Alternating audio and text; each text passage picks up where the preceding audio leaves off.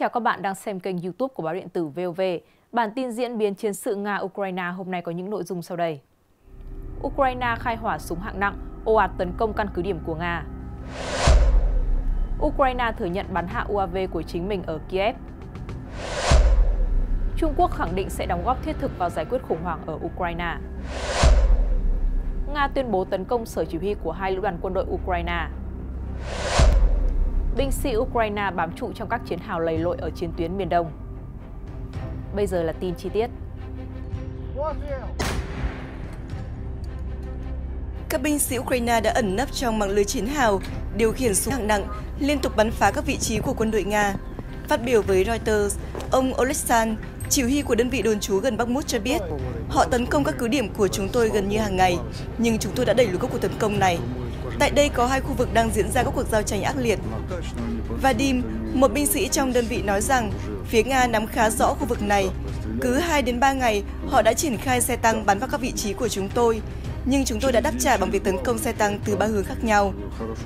Quân đội Ukraine ngày 2 tháng 5 tuyên bố sẽ không từ bỏ thành phố Bakhmut khi họ chuẩn bị khởi động một cuộc phản công lớn vào cuối mùa xuân, vốn đã lên kế hoạch từ lâu nhằm chống lại Nga. Giao tranh đang diễn ra ác liệt tại Bakhmut. Việc giành quyền kiểm soát thành phố này có tầm quan trọng mang tính biểu tượng đối với cả hai bên. Ukraine vẫn kiên quyết giữ vững một số khu vực của thành phố sau nhiều tháng chiến đấu ác liệt, còn Nga coi Bakhmut là bàn đạp để tấn công các thành phố khác của Ukraine.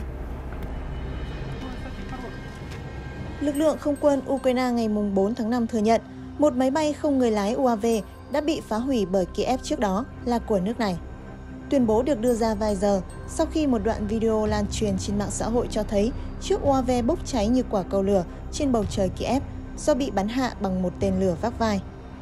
UAV sau đó đã rơi xuống quận Perchesky nhưng không có ai bị thương. Một số người cho rằng UAV này là một chiếc co xe của Nga. Tuy nhiên, sau đó, một số hãng truyền thông phương tiện đã đưa tin ngược lại và quân đội Ukraine đã thừa nhận điều này. Cuộc gặp giữa Ngoại trưởng hai nước Trung Quốc Nga diễn ra bên lề Hội nghị Bộ trưởng Ngoại giao Tổ chức Hợp tác Thượng Hải SCO. Hai bên đã trao đổi về quan hệ song phương, cuộc khủng hoảng Ukraine cùng các vấn đề quốc tế và khu vực cùng quan tâm khác. Ngoại trưởng Tần Cương cho biết, Bắc Kinh sẽ kiên trì thuyết phục hòa bình và thúc đẩy đàm phán, đồng thời sẵn sàng duy trì liên lạc và phối hợp với Nga, đóng góp thiết thực vào việc giải quyết chính trị của khủng hoảng Ukraine. Theo Bộ Ngoại giao Trung Quốc, hai bên không chỉ nhất trí tăng cường hợp tác trong khuôn khổ SCO, duy trì sự đoàn kết và hợp tác của tổ chức này, xây dựng SCO thành một nền tảng hợp tác cùng có lợi giữa các quốc gia thành viên, mà còn tăng cường liên lạc và phối hợp trong các khuôn khổ đa phương như BRICS, G20, Liên Hợp Quốc và ở khu vực châu Á-Thái Bình Dương, phản đối chiến tranh lạnh mới và duy trì hòa bình ổn định ở khu vực. Hai bên cũng nhất trí lên kế hoạch và sắp xếp các cuộc trao đổi cấp cao và các cấp, tăng cường hợp tác kinh tế thương mại, làm sâu sắc hơn giao lưu nhân dân và văn hóa, thúc đẩy tạo thuận lợi cho trao đổi nhân sự giữa hai nước trong giai đoạn tiếp theo. Cùng ngày, Phó đại diện thường trực của Trung Quốc tại Liên Hợp Quốc Cảnh Sàng đã kêu gọi Tổ chức An ninh và Hợp tác châu Âu OSCE tạo môi trường và điều kiện để Nga và Ukraine nối lại đàm phán. Ông tuyên bố, Trung Quốc khuyến khích OSCE phát huy lợi thế của mình, tạo môi trường và điều kiện cần thiết, hỗ trợ nối lại đàm phán giữa Nga và Ukraine. Theo quan chức này, khủng hoảng Ukraine là sự bùng phát tổng thể của những mâu thuẫn an ninh tích lũy lâu dài ở châu Âu, Giải pháp cuối cùng cho cuộc khủng hoảng chỉ có thể được thiết lập trên cơ sở thực hiện an ninh hợp tác, an ninh chung và an ninh bền vững.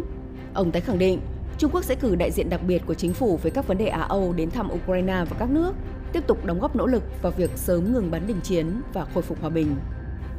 Người phát ngôn Bộ Quốc phòng Nga, tướng Igor Konashenkov hôm 4 tháng 5 cho biết, tại các khu vực vùng Zaporizhia, ở tỉnh Lugan và ở vùng Kherson, các sở chỉ huy của Lữ đoàn Sơn Cước 128, Lữ đoàn cơ giới số 54 và Trung tâm lực lượng tác chiến đặc biệt của quân đội Ukraine đã bị tấn công. Theo ông Igor Konanchenkov, trong 24 giờ qua, lực lượng Nga đã tấn công 103 đơn vị pháo binh Ukraine tại các vị trí khai hỏa, binh sĩ và khí tài quân sự ở 118 khu vực. Ngoài ra, các lực lượng Nga đã phá hủy một kho đạn pháo và một kho nhiên liệu của quân đội Ukraine lần lượt ở khu vực Kupiansk và Kirovograd, đánh chặn 9 tên lửa của các hệ thống phóng tên lửa đa năng HIMARS, Uragan và Smerch, phá hủy 14 máy bay không người lái của Ukraine. Theo ông Konashenkov, kể từ khi Nga triển khai chiến dịch quân sự đặc biệt ở Ukraine, có 416 máy bay, 230 trực thăng, 3.949 máy bay không người lái, 421 hệ thống phòng không, 8.967 xe tăng và các phương tiện bọc thép khác, 1.095 hệ thống phóng tên lửa, 4.728 hệ thống pháo và súng cối, cùng 9.949 xe quân sự đã bị phá hủy. Hà Lan sẽ tiếp tục hỗ trợ quân đội Ukraine và người dân Ukraine trong nỗ lực đối phó với cuộc tấn công của Nga. Chúng tôi sẽ đóng góp đáng kể vào việc tăng cường tiềm năng quân sự của Ukraine. Hà Lan đã ủng hộ mạnh mẽ Ukraine kể từ khi xung đột Xung đột dường như đã trở thành điều quen thuộc đối với binh sĩ tình nguyện Artem, 30 tuổi, đến từ một thị trấn nhỏ gần Chernihiv, phía bắc Ukraine, nơi từng bị bao vây ngay từ khi Nga phát động chiến dịch quân sự đặc biệt tại Ukraine. Bất chấp tiếng pháo nổ thường xuyên, tiếng u u của trực thăng ở trên cao, mọi thứ dường như tương đối yên tĩnh đối với đơn vị của Artem đang đồn trú gần cứ điểm của Nga. Các binh sĩ dành phần lớn thời gian để quan sát nhất cử nhất động của đối phương, chờ đợi mệnh lệnh, lắng nghe, kiểm tra điện thoại, dọn dẹp bùn và kiểm tra các loại vũ khí của họ, trong đó có cả những loại súng máy do Mỹ và Đức cung cấp. Phát biểu với báo chí, Athem cho biết, chúng tôi có chỗ ăn, chỗ ngủ và có nơi che chắn. Chúng tôi cảm thấy như vậy là đủ và không cần nhiều hơn nữa. Ở đây rất nguy hiểm, nhưng dần dần bạn sẽ quen với điều đó. Mọi giác quan của bản thân dường như trở nên nhạy bén hơn và bạn sẽ không còn thấy sợ hãi như lúc đầu. Artem cùng các thành viên khác trong đơn vị của anh đã sống ở khu vực Donbass khoảng 6 tháng. Trong thời gian đó thì họ thay phiên nhau canh giữ các chiến hào. Các chiến hào được đào sâu dưới đất, có những chỗ được gia cố bằng bao cát. Các hầm trú ẩn khá chật trội nhưng cung cấp nơi trú ẩn an toàn trước đạn pháo, súng cối và vũ khí thả từ máy bay không người lái của đối phương.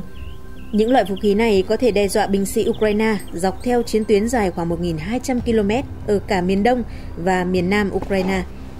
Artem cho biết anh và các thành viên đang chuẩn bị sẵn sàng cho các cuộc giao tranh tiếp theo trong bối cảnh Ukraine chuẩn bị tiến hành cuộc phản công lớn trong thời gian tới, với hy vọng xoay chuyển cán cân sức mạnh trên chiến trường và đẩy lùi Nga ra khỏi lãnh thổ.